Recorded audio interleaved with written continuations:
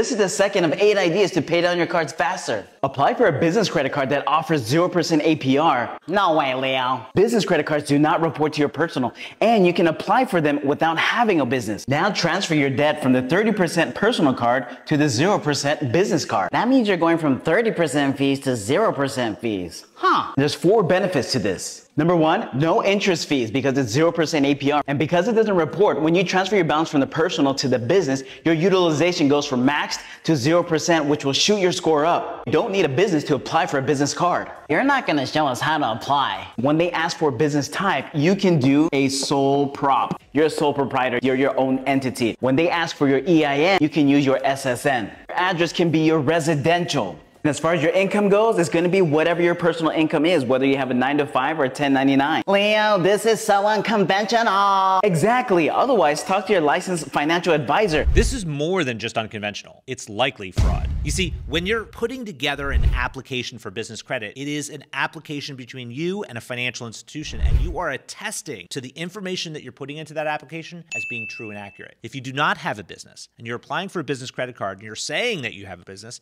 you're essentially committing fraud. I can't advise taking this approach.